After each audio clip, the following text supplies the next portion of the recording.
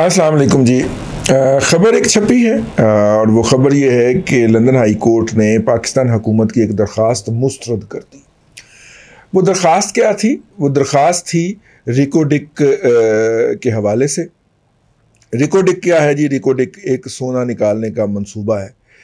ये मनसूबा बलूचिस्तान के अंदर है और बलूचिस्तान के अंदर एक बहुत सारी ज़मीन हमने उनको देनी थी, जहाँ से उन्होंने सोना और तांबा निकालना था। जहाँ से तांबा निकलता है, जहाँ से सोना निकलता है, वहाँ पे तांबा भी निकलता है और जहाँ से तांबा निकलता है, वहाँ पे सोना भी निकलता है।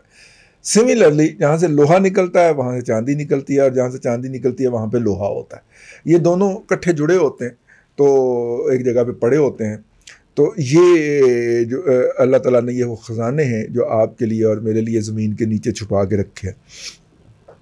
और हमें इलम हासिल करने का हुक्म दिया है ताकि इंसानों को इंसानियत को ताकि हम अपने इलम को रूब अमल लाएँ और ये ख़जाने निकाल के अपने लिए और पूरी इंसानियत की खुशहाली के लिए इस पर काम करें। तो ये जो आ, ये जो रिकॉर्डिक है इसका हमने ठेका दिया था जी। और ठेका किसको दिया था? वो एक कंसोर्शियम बना था, उसका नाम था टीडियन कापर कंपनी। और टीडियन कापर कंपनी किन दो कंपनियों का कंसोर्शियम था? वो था जी, एक था एंडोफगास्टा, जो कि चिली की कंपनी थी, और एक ऑस्ट्रेलियन कंपनी थी, जो कि अमेरिका में भी लिस्टेड है, कनाडा में भी लिस्टेड है, उसका नाम है बैरिक गोल्ड। बैरिक गोल्ड और एंडोफगास्टा का जो जॉइंट वेंचर था, उसका नाम था टीडियन कापर कंपनी, टीसीसी, उसको हमने कॉन्ट्रैक्ट दिया था। जब ये ठेका दे दिया गया तो कुछ लोग जिनका ख्याल है कि ये वतन हमारा है और हम हैं वो उन, उन्होंने कुछ लोगों को आगे किया और नतीजे के तौर के ऊपर वो मामला गया सुप्रीम कोर्ट में और सुप्रीम कोर्ट ने उसका नोटिस ले लिया और नोटिस ले के वो माहा जो था वो स्क्रैप कर दिया। ये जाने बूझे बगैर कि वो माहा जो था वो इंटरनेशनल एग्रीमेंट था और वो सुप्रीम कोर्ट ऑफ़ पाकिस्तान की जुरिस्डिक्शन नहीं बनती थी। लेकिन इफ्तार चौधरी साहब का बेड़ा गर्क हो कि वो कठपुतली बनने में इतने आगे चले गए हुए थे क्योंकि उनकी जान बख्शी उन्होंने उसको बाबर करवाया कि आपकी जान बख्शी हमने करवाई है लोग जो सड़कों पर आए थे आपके लिए ये तो कुछ भी नहीं भेजते वो बाबर करवा लेते हैं।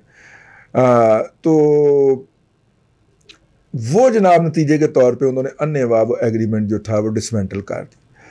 अभी आ, हमने आ, पिछले दिनों एक वीलॉग किया था जिसमें आ, कुछ बेनाम कंपनियाँ और कुछ पाकिस्तान के बड़े बड़े बिजनेसमैनों को शामिल करके एक कंसोर्शियम बनाया गया था कि रिकॉर्ड एक हम ले लेते हैं वो खड़ा किया गया था कराची में से। उसकी खबर भी थी और हमने उसके ऊपर एक वीलॉग भी किया था। ख्वाहिश बहुत है।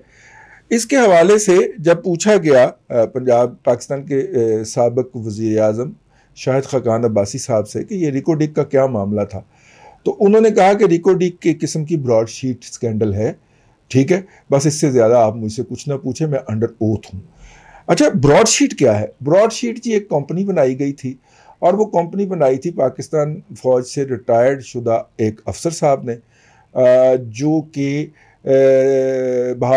हैदराबाद साजिश केस के अंदर पकड़े गए थे और ए, भुट्टो साहब ने उनको पकड़ा था और ज़ियाउल हक ने आके उनको रिहा कर दिया था क्योंकि वो फ़ौज से रिटायर्ड शुदा अफसर थे।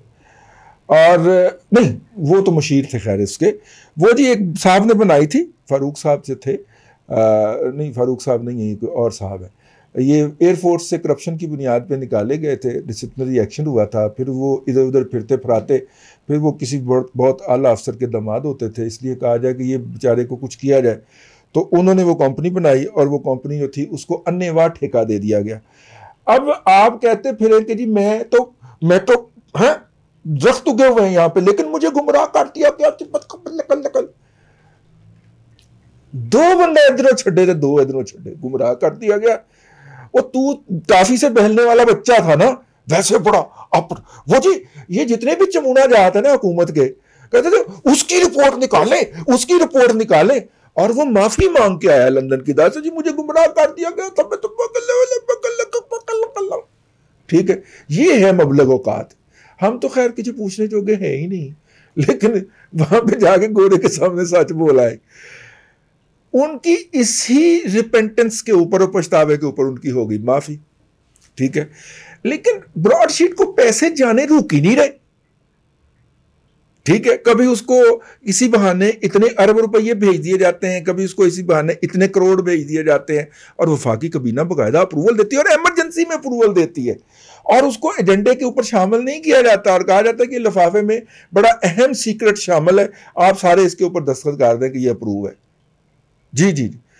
तो वो पैसे जा रहे हैं जी किसी ना किसी के दामाद को किसी के बेटे को किसी डिफंक्ट को किसी करप्शन की बुनियाद के ऊपर निकाले गए शख्स को। तो ये ब्राड शीट है जी। टोटल उस ब्राड शीट को अगर आप किसी एक फिक्रे के अंदर लपेटना चाहें तो टोटल ब्राड शीट ये है एक फ्रॉड है। कंपनी खड़ी की है।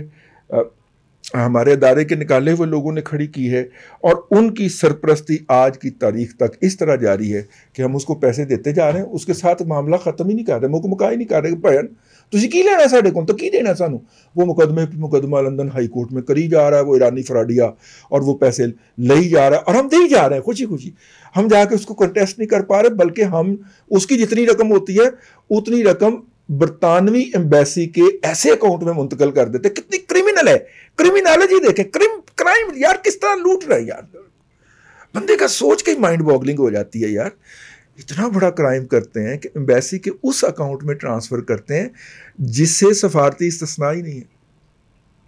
और लंदन हाई कोर्ट जो है, वो पैसे उठा के तो वो ब्राडशीट को दे देते पैसे जाने बंद नहीं हो रहे यार है वैसे बड़ी कमाल दिखा मेरा मुल्क लुटिया जा रहा है यार।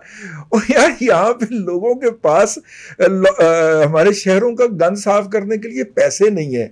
और वहाँ पे चौथे के दिन इतने सौ करोड़ और इतने करोड़ और इतने अरब रुपया जो है, वो हर तीसरे चौथे महीने भेज रहे हैं और कोई उस पर बात नहीं कर रहा, ना बात करने को तैयार। तो खैर, ये है जी ब्रॉड शीट तो जनाब, शाहिद इकबाल, शाहिद खकान अब्बासी साहब कहते हैं कि जनाब ये भी एक किस्म का ब्रॉड शीट ही है, अब आप मेरा मुँह ना खुलवाएँ। ठीक है? तो खैर उसके बाद क्या हुआ जी जब इफ्तार चौधरी साहब ने ये मामला ख़त्म कर दिया तो फिर जनाब वो टीरियन कॉपर कंपनी हमें नोटिस भेजती रही। हमने उसके नोटिस को पढ़े कहा के बराबर भी हैसियत नहीं दी। फिर टीरियन कॉपर कंपनी जो थी वो आ, आ, उन्होंने जाके मुकदमा कर दिया। अब जब वो मुकदमा फाइनल स्टेज पे पहुँचा तो जनाब हज़रत किबला इमरान खान साहब तशरीफ़ ले आए। और इमरान खान के साहब के सरप्रस्तों ने बड़े फ़ख्र के साथ एक ब्रीफिंग में बताया।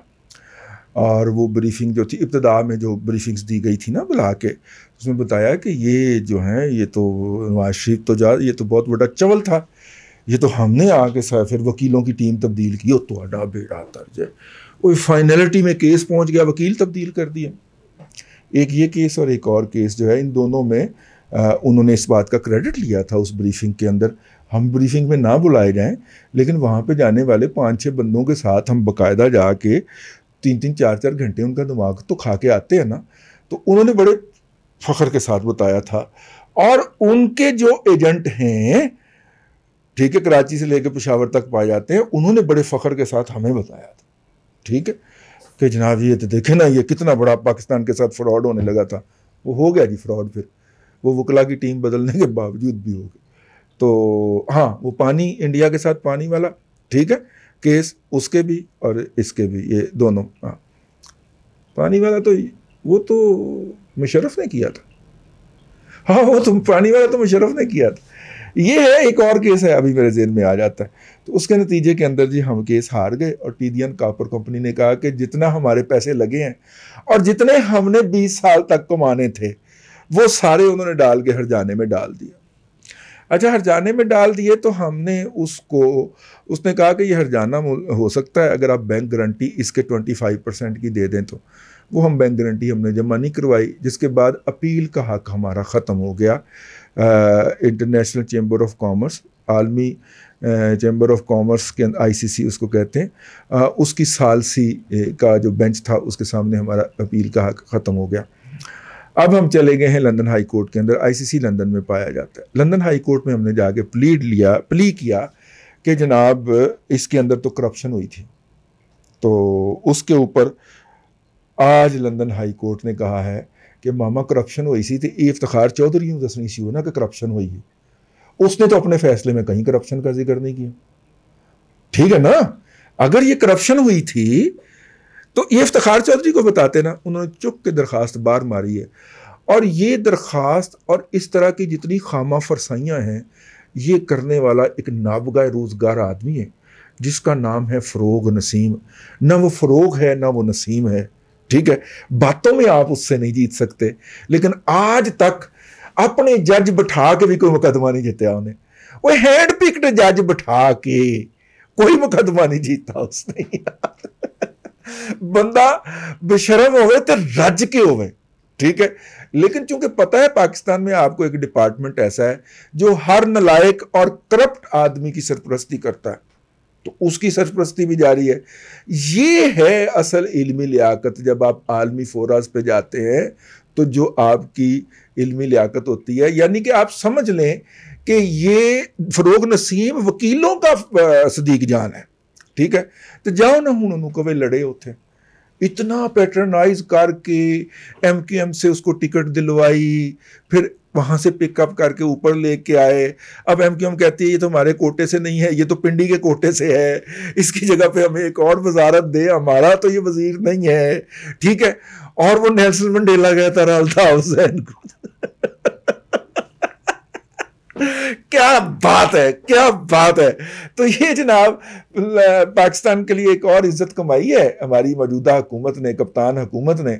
और जनाब, वहाँ पे वो दरख्वास्त में उठा के खिड़की से बाहर फेंक दिए। अल्लाह आपको आसानियाँ अता करे और आसानियाँ खल के खुदा में तकसीम करने की तोफ़ी अता करे।